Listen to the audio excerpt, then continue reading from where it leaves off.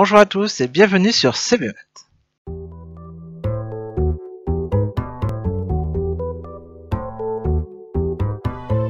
Problème de l'avant 16.1 Un tiers d'un quart d'un nombre est égal à un demi.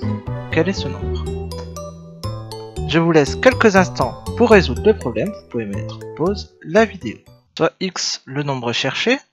Donc on va résoudre l'équation 1 tiers fois 1 quart fois x égale à 1 demi. 1 tiers fois 1 quart, 1 douzième. x égale à 1 demi.